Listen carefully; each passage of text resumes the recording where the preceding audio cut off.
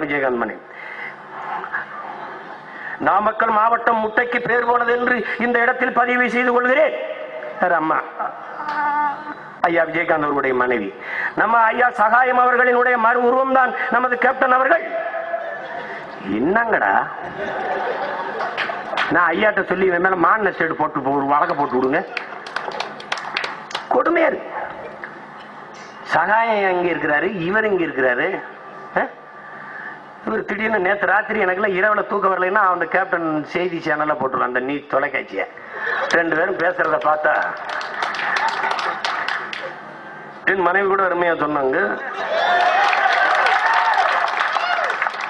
சிரிக்காதீங்க நான் மறந்துடுவேன். என்ன பேசுவேன்னா அப்போ விட்டுருவேன். ஆஹா, ஆமா.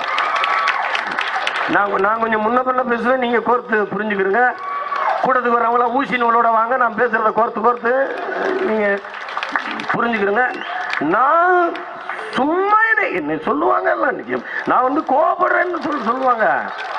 நான் நான் முடிவு என்ன வேணாலும் நீங்க சொல்லிட்டு போங்க. நான் அதை பத்தி கவலைப்படல. நான் நான் வந்து கோபம் அந்தமா கோபப்படலையா அந்தமா மட்டும்? இந்த மாதிரி சும்மா ஒன்று ஒண்ணு கொரோனா போய் படுத்துக்கிட்டாங்க. நான் சொல்லுவேன் மக்களே நீங்க பாருங்க.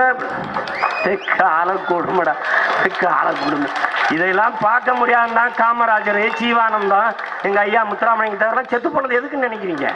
இந்த கொடுமையெல்லாம் பின்னாடி நடக்கும்டா. நம்ம போயிடுவோம். இந்த பாலா பணம் இந்த சீமாங்க அன்பு திணறசு இந்த வினோத் அவங்க எதை மாறி மாறிச்சு திங்கிட்டு போயிட்டு போறாங்க. நம்ம போயிடுவோம்டான்னு போயிட்டாங்க.